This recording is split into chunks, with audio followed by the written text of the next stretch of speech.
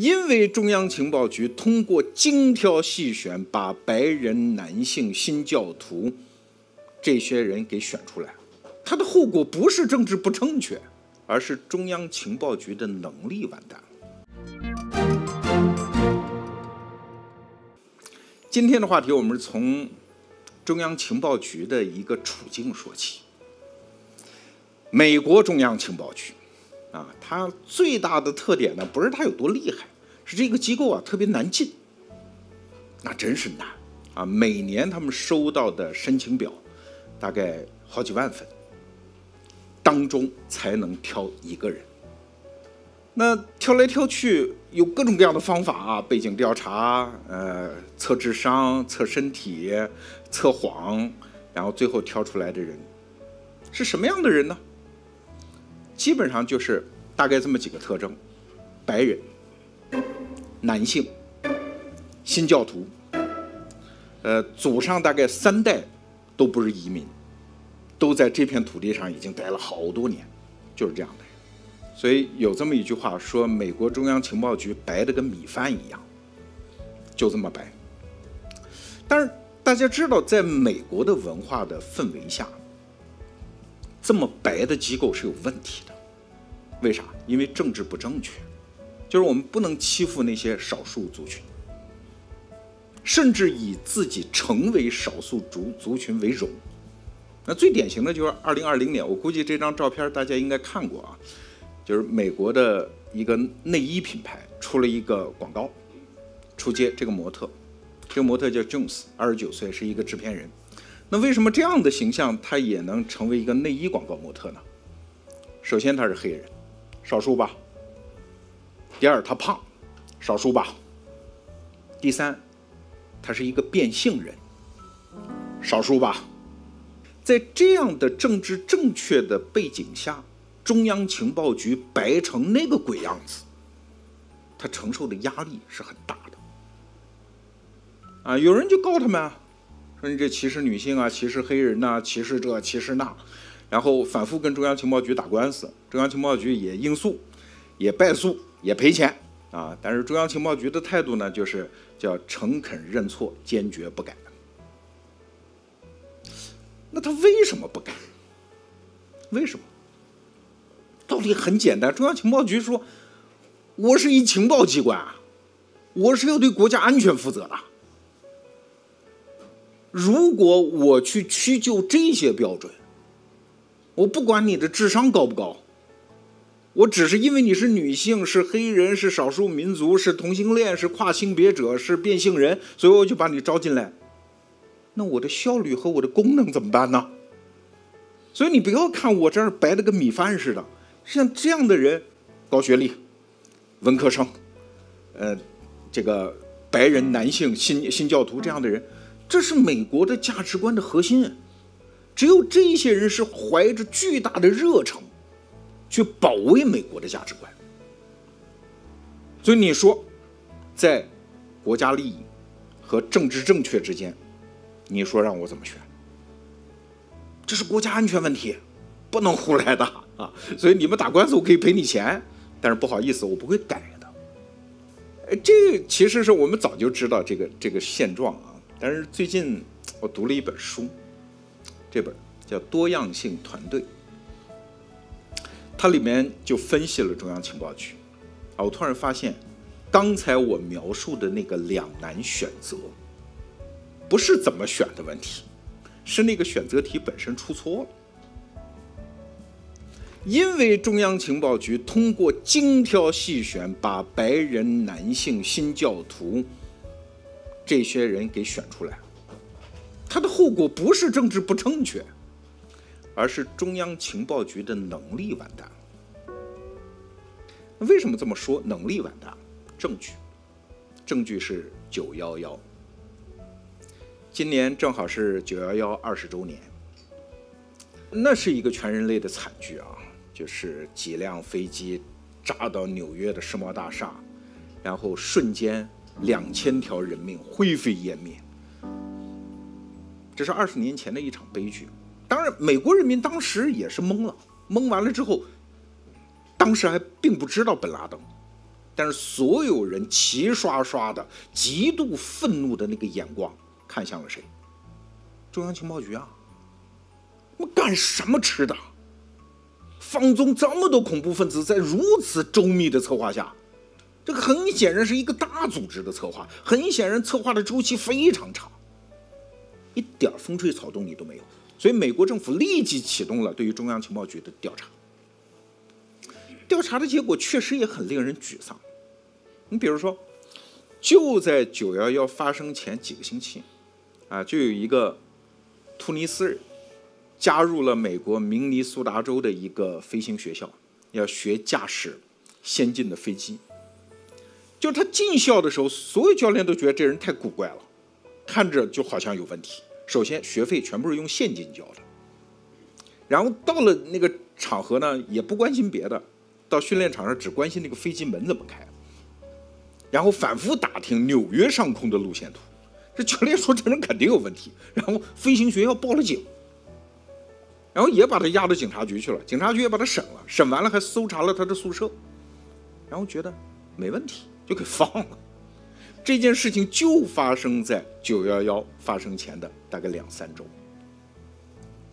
不只是这么一件事儿啊，就事后的调查呢，把根儿刨出来一看，在过去的九幺幺策划的五六年间，像这样的信号，那是像瀑布一样的能够发现出来。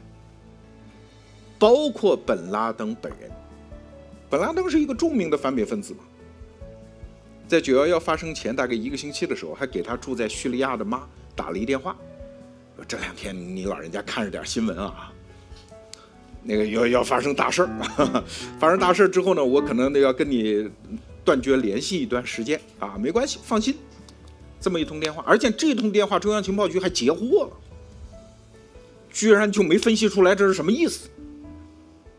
哦那中央情报局可能也能解释这件事儿，因为你想，那是美国嘛，美国多大，美国多招人恨，所以那么多信号，你事后看很多，但在事前看，那是淹没在信号的噪音海洋中的。但问题是，随着调查的深入，大家突然发现了一个问题，这个问题。我们称之为叫认知黑洞，什么意思呢？就是调查人员突然发现一个事实，就是按照美国中央情报局的人员结构，九幺幺事件是不可能被发现的。这不是一个能力问题，是根本不可能被发现。为什么？因为他几乎就没有懂阿拉伯民族、懂伊斯兰教的人。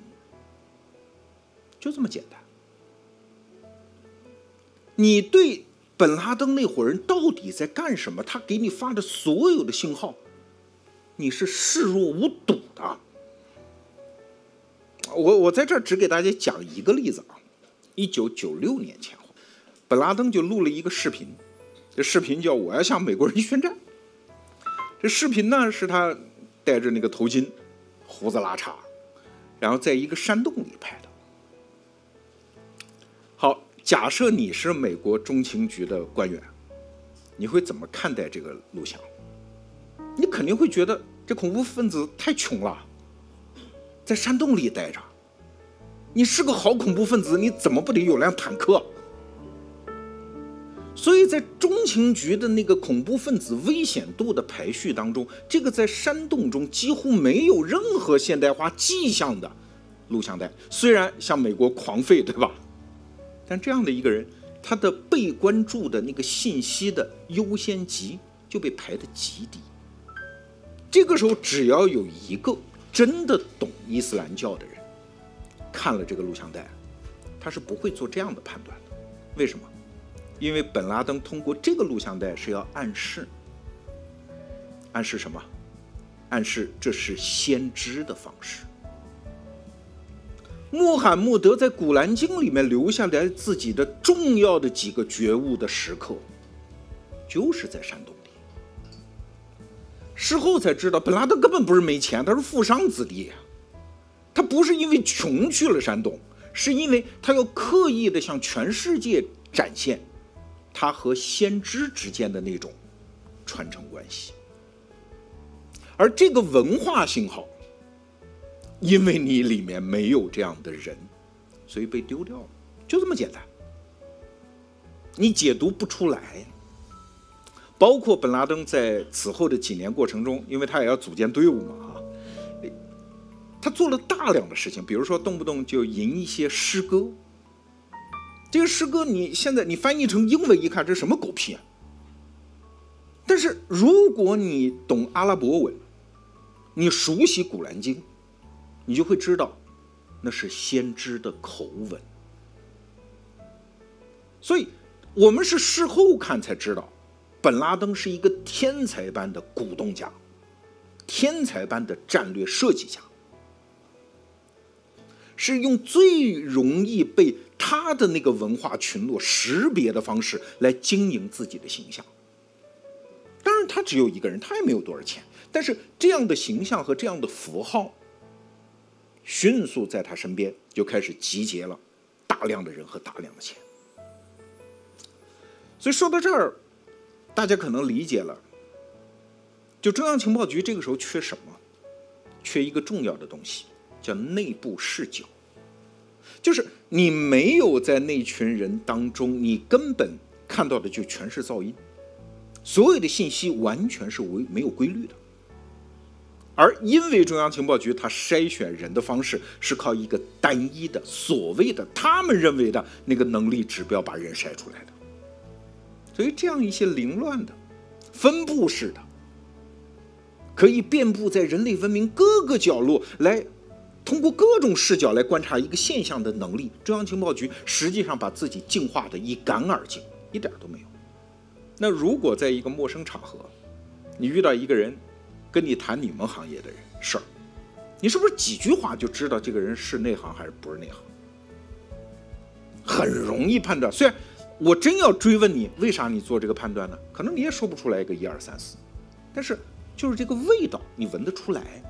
他用术语的方式，他看待问题那个关注的特定的角度，这真是稍微隔行就隔山。啊，我自己有一个特别刺激的体验。我有一次跟一个北大考古系的朋友到他们那个考古现场，他指给我看，哎，你看这是什么墓？这很明显就是什么墓。我这怎么就明显是个墓了？你外行你真就看不出来，对吧？包括我们中国人到各种旅游景点，尤其是大溶洞，对吧？那个导游一打水，你看猪八戒娶媳妇儿，怎么就猪八戒娶媳妇儿了？这个是需要大量的共同的文化背景、内部视角，你才能够识别的，我才能够会心一笑的。所以，这就在我们看待这个事情的过程当中提出了一个问题，就是我们现在这些组织、这些企业，我们挑人，那挑人嘛，肯定是我挑我顺眼的，我挑更像我的。我挑将来成长起来也更像我的，所以作为一个组织，它真的有能力把自己变成一个多样化的团队吗？